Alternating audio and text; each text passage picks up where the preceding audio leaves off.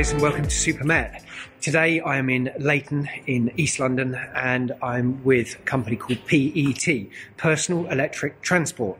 So you need to get down here and have a look because they have got the new VSETT range of scooters and they are the main dealers for VSETT in the UK. Um, so they supply everybody else. So let's take a look around and let's see what this VSETT uh, 9 and 10 Plus are actually like, because um, I've heard amazing things. I have seen it, so we're going to have a look at it and we'll go from there. Okay, so here it is. This is the VSETT 10 Plus. Now this is a prototype version, so there's a couple of things that aren't working on this particular unit, but let's have a little look around it. So we've got Nutt brakes, um, this has got actually floating rotors on it. Um, that isn't standard, but it's a slightly different um, setup because this is obviously prototype. It's got a 60 volt battery, 28 AH. Hi. People coming in and out of everywhere. It's a nice setup, feels good and solid. So you've got um, hydraulic suspension front and rear. See, pretty much looks like a sort of a zero. You can tell this has come out of the same, the same factory. But the thing that's really exciting is this. Look at this clamp on the front. Absolutely solid. This is beautifully manufactured here.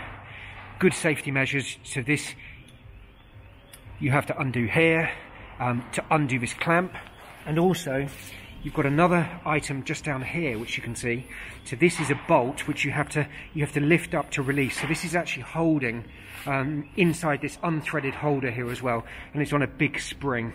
Um, a good safety measure. So if this actually was to, to release itself, which would be extremely difficult, um, maybe you've left this undone and it's loose, um, then this potentially would, would save you. Um, so I, I, like that they've got a form of redundancy in there, and this this is a great thing. Stem is obviously not circular any longer; it's a different shape, which you can see. So it's um, sort of oval, and then it's indented for strength.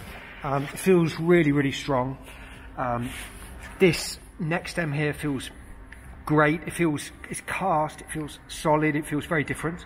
You'll also see that charge ports are located on top not on the side because on the other on the other scooters such as the Zero they're always located down here they get wet they get the dirt this doesn't have that problem as well so some good design really good design you can see here it's got different bearing bearings in here just feels more solid 1500 watt motors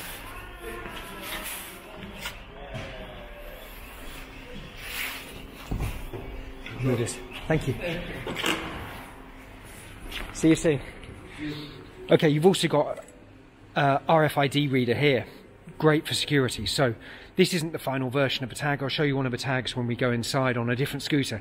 So you basically place this here to switch the scooter on, um, and then you can you can turn it all on here and then you put the card against it and it lights up so you can see it gives you your voltage readout this one display doesn't work so you can't change anything only on and off on this one because it isn't the finished production model but um, it's got a two minute overtake um, item so you can press sport works for two minutes gives you a real boost off the battery and it's meant for overtaking and just really speeding along for two minutes a minute.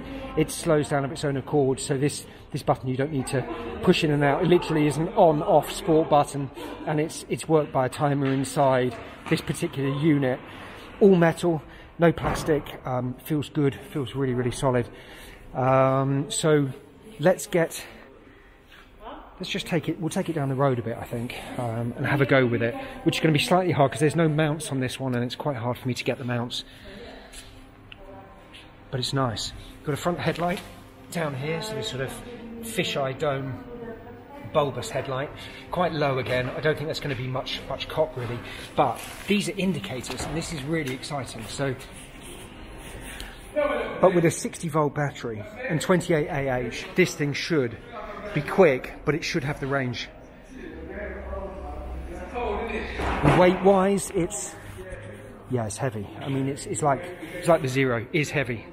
and this is sort of a Mini Motors look display, but it actually isn't Mini Motors. It's something completely different. So it's manufactured to look similar, um, be water resistant. So it's it's just better thought out than they were beforehand.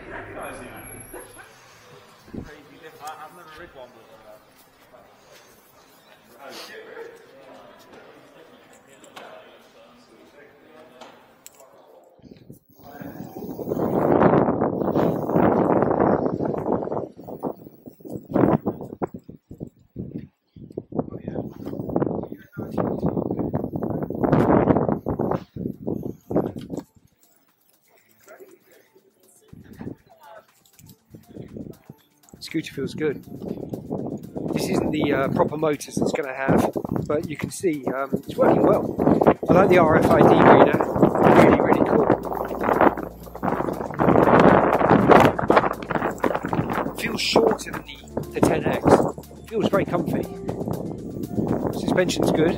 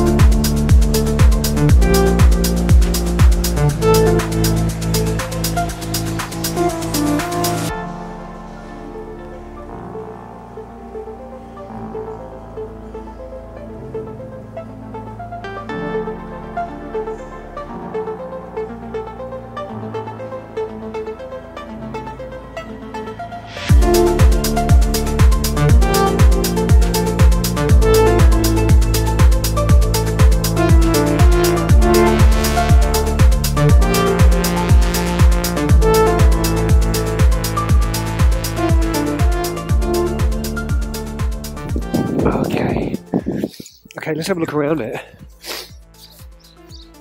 I like the brakes at the back. See them flashing down here? I'm hoping you can see this with this head cam. It's good. Hi. Somebody else on their scooter. Xiaomi 365. Okay, brakes are good. Um, I can't change all the settings. Um, I've got a I've got a sport button. You can just see just here. If I press that, this should go to five. It does, it goes to five, but it only lasts for um, uh, for a minute or two, and then um, then it changes over. So let's give it a go on five and see how how it acts.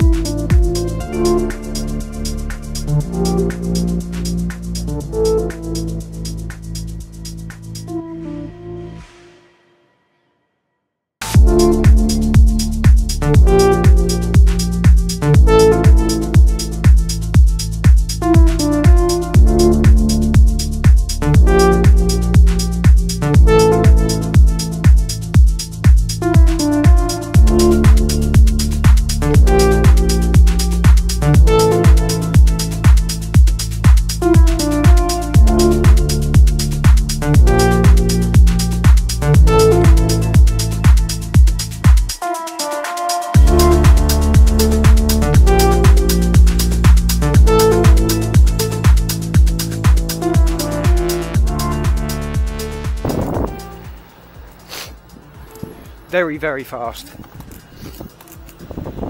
Much, much quicker than a 10X. Scary fast, but feels quite controllable. I think I would change the suspension. I can feel a bit of wobble on these steering. Oh, it's because it's. Okay, sorry. Oh, yeah, look, handlebars. Can you see that moving? See, this bar. I would change that bar over immediately for something different. I don't like that bar in any way. So I'm on level 3 power again.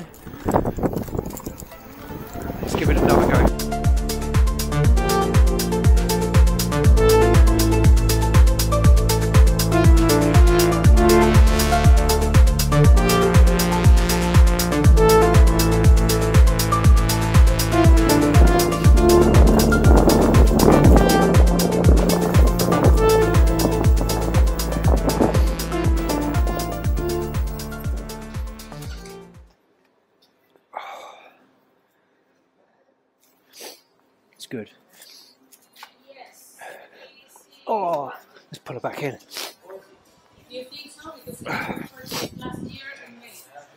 It's too cold, guys, for this. Okay, let's get her back in. Okay. It's good.